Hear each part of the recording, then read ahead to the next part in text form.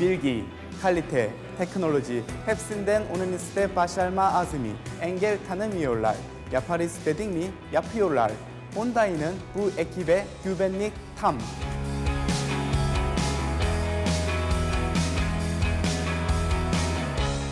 Bugün çok iddialı bir projeyi hayata geçirmenin heyecanını ve gururunu yaşıyoruz.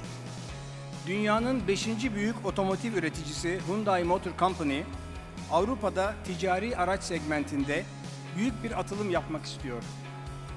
Ve 5 yıl içinde dünyanın en büyük ticari araç üreticilerinden biri olmayı hedefliyor.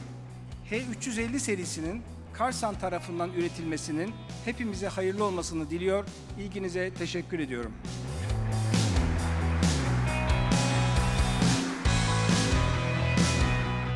I am very delighted and honored that you have all joined us on this significant day for both Hyundai Motor Company and Karasan Automotive.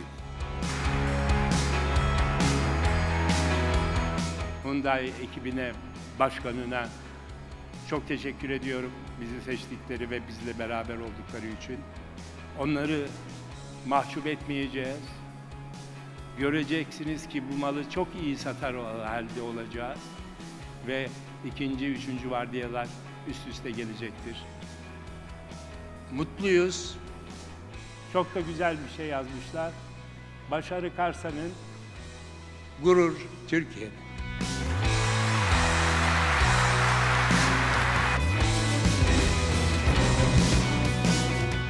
Hyundai'nin Güney Kore dışında özellikle ikinci bir partner ülke olarak Türkiye'yi seçmiş olması burada iki açıdan son derece önemli. Türkiye'ye, Türkiye ekonomisine duyduğu güvenin bir göstergesi ama aynı zamanda Karsan'a ve Karsan'ın kabiliyetlerine, yeteneklerine ve gücüne duyduğu güvenin de bir göstergesi.